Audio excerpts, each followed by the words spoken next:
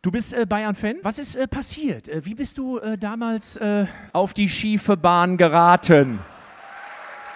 Bist du auch schon mal so ins Stadion, also bist du auch schon mal in der Arroganz, äh, in der Allianz Arena, bist du da? Oh, da sitzt er da schön mit seinem Prosecco. Mm. Und wenn der Thomas Müller ein Tor macht, so Stößchen. Nein, übrigens, ein sehr guter Kumpel von mir ist auch, äh, auch Bayern-Fan. Guter Kumpel ist Bayern-Fan. Und ähm, also er nicht so, er nicht so, aber seine Tochter ist ein riesen Bayern-Fan. Und jetzt hat die Tochter sich das neue Trikot bestellt. Ich sage, und? Ja, sie wollte mal gucken, sagte sie wollte mal gucken, wie das äh, Trikot ankommt. Dieses von Harry Kane, dieses weiße mit den roten Streifen. Ich sage, und wie ist es angekommen? Sagt er, du, du glaubst es nicht. Die hat das Trikot angezogen, die wurde beschimpft, bepöbelt, bespuckt. Man hat nach ihr getreten. Ich sage, hör auf, sagt er, ja, und jetzt wollen wir erstmal gucken, was passiert, wenn sie unser Haus verlässt.